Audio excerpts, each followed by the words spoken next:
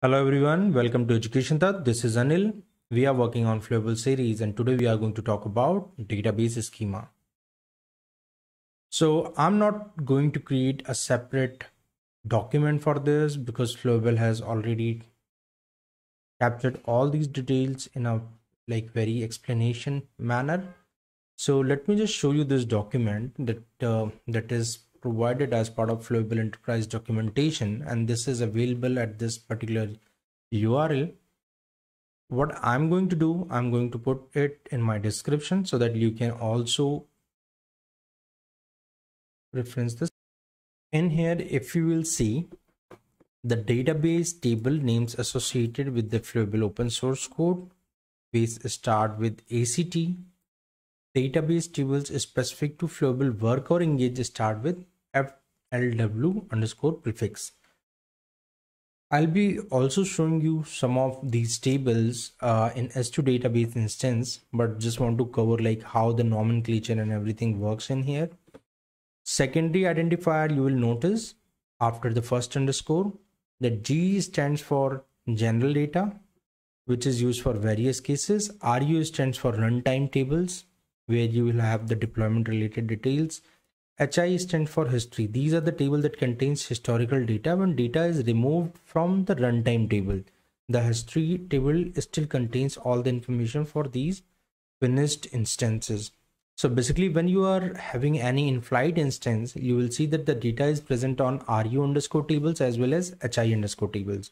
But as soon as the instance ends up, this will only be available in history tables. RE stands for repository. For any static information about model and definition or deployment is part of the RE1. Common suffixes, you will notice that underscore deployment, this, this is to indicate successful deployment. Whereas deployment resources stores the model related to deployment when uh, like a specific definition is needed.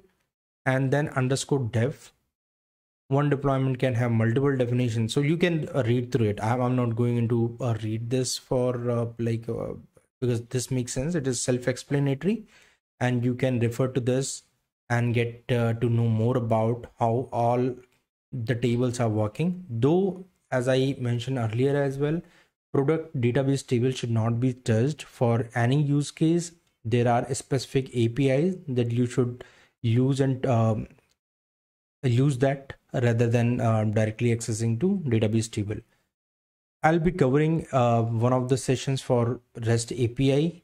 So you can focus more on that for for anything related to any feature or functionality that you want to leverage from Flowable Engine.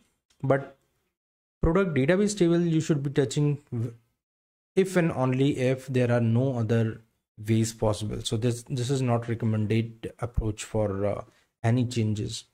So this is quite extensive document and you should be able to know uh, something specific tables on the flowable or the cmmn or the bpmn so just feel free feel free to explore that. If you have any questions around it you can comment in here. Uh, i will try to response um, basis on your queries. So I'll, I'll be able to like give you a response over there.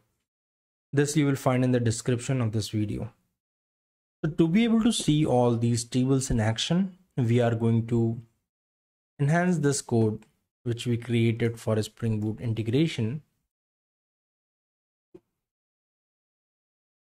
We are going to copy some of the properties in here. Then we are going to provide some DB details to be able to open this H2 console calling this db new because flowable db is something i have already initiated for 6.6.0 so either i should go and uh, clean that flowable db instance from h2 or i can use this h2 inst uh, h2 instance which i'm calling as flowable db new. Now if we restart our application here we should be able to see H2 console. Let's run now.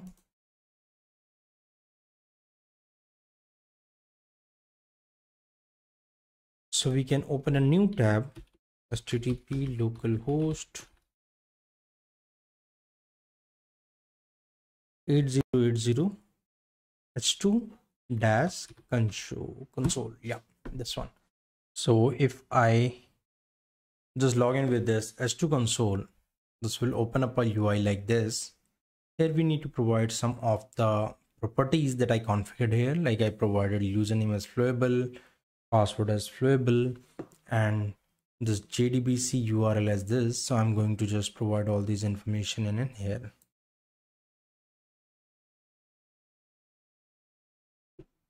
Username flowable password flowable and then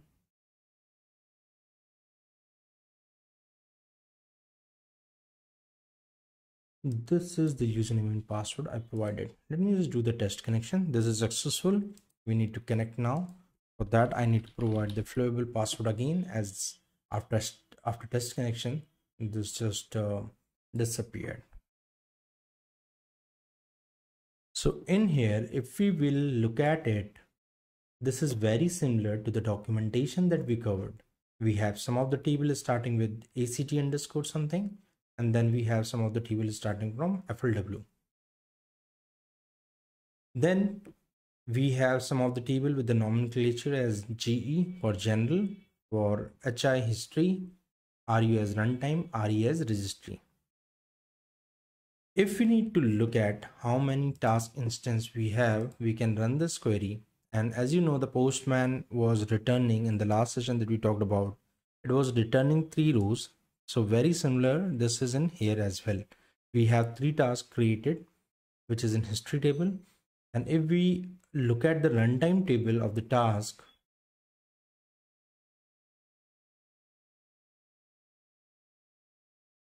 clear this one.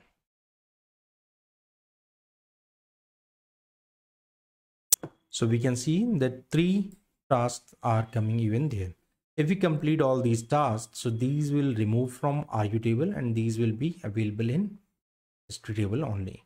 Similarly, we have lots of other information. If we uh, look at this from the backend perspective, for any for any deployment related, if, since we have deployed one BPMN process, so ideally we should have some detail in the BPMN process. Let's have a look on the table. As you can see that we have done the spring boot deployment so that is where you can see that the one deployment was available from 25th of march and then the second deployment that we did is from 26th of march. So with the table also and uh, from table also we can have all the detailed information available. You can use this for query purpose if somehow like you want this to be quick and uh, very familiar and definitely you should have some knowledge of the product database tables as well. But doing any changes or using it as a regular will will be very risky thing. So uh, please try to avoid that. But this is how we want to complete our session on database schema today. Let me know if you have any questions in the comment box below. Hope you are liking overall series that we created on flowable thanks for watching. If you have not subscribed to our channel please go and subscribe that